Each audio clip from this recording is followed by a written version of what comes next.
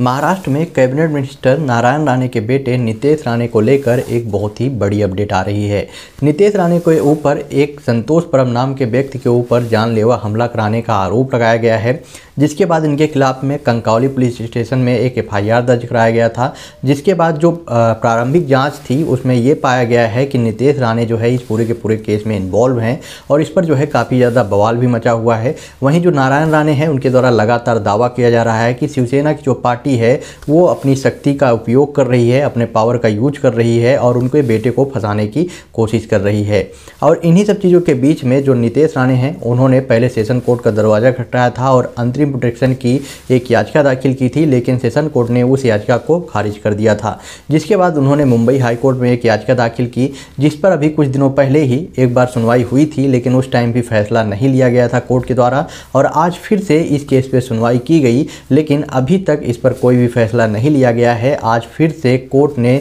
नितेश राणे की जो ये ये याचिका है, अंतरिम प्रोटेक्शन की, इसको जो है स्थगित कर दिया है, और इस पर जो है 12 जनवरी को फिर से सुनवाई करने की बात कही गई है। मतलब कि अब जो है, मुंबई हाईकोर्ट के द्वारा इस पर 12 जनवरी को फैसला लिया जाएगा कि नितेश राणे की गिरफ्तारी को मंजूरी दी जाए या उनको जो है अंतिम प्रोटेक्शन प्रोवाइड कर दिया जाए। वायद वे महाराष्ट्र गवर्नमेंट के द्वारा भी यही बात बोली गई है कि वो जो है 12 जनवरी तक नितेश राणे के ऊपर कोई भी कार्रवाई नहीं करेंगे। वैसे अगर माना जाए तो ये बहुत ही कॉमन सी बात है, क्योंकि कोई भी बड़ा मंत्री, चाहे किसी भी पार्टी का हो, शिवसेना, बीजेपी, एनसीपी, कांग्रेस या किसी भी पार्टी का हो, जब किसी विधायक या मंत्री के ऊपर कार्रवाई करनी होती है तो उसमें जो है केस कभी ना कभी कोर्ट में चला ही जाता है और लगातार वो जो है एक के बाद एक तारीख पे तारीख चलता रहता है, उस पर कोई कार्रवाई नहीं होती है। आपका क्या ओपिनियन है बाय द वे इस पर आप अपना ओपिनियन कमेंट बॉक्स में बताएँ और वीडियो को ज़्यादा से ज़्यादा शेयर करें।